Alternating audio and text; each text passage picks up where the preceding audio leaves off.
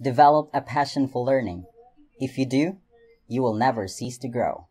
Hi, Riku here from Native Camp, at your service in giving you a quality education in a fun, exciting, and easy way. Hoping to see you in my class.